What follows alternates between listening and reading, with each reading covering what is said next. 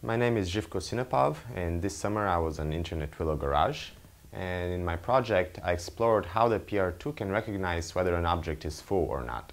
And this is particularly important because vision and 3D laser scan data cannot tell whether a bottle is full or empty and the robot sometimes needs to know that. To solve the problem, I use the proprioceptive sensory modality, which can inform the robot of the joint efforts that it feels as it manipulates an object. The approach that I chose was a data-driven approach in which I let the robot experience what a full and what an empty objects feel like. And once the robot had that experience, it could use it to classify novel bottles as either full or empty. After the robot learned the model, I developed a sorting application task in which the robot was tasked to uh, sort bottles based on whether they're full or empty. The robot picks objects from one side of the table and moves them to the other if they're full or puts them in the trash can if they're empty.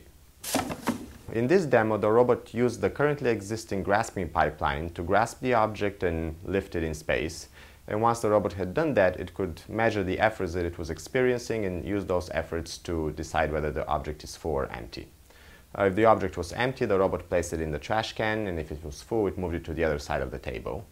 And after a series of tests, we found that the robot was able to solve the problem with a 100% success rate, which shows that proprioceptive input can be very important in terms of detecting properties of objects which cannot be inferred through vision. For future work, I plan to extend this model to other types of tasks. For example, if there's a box that may be full or may be empty, the robot can perhaps push it or slide it on the table very gently to find out if it's, uh, what its internal state is.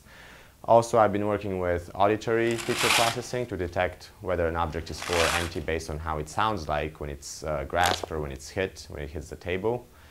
And finally, I want to integrate those two sensory modalities so that the robot has a multimodal representation of the objects rather than just rely on a single sensory modality.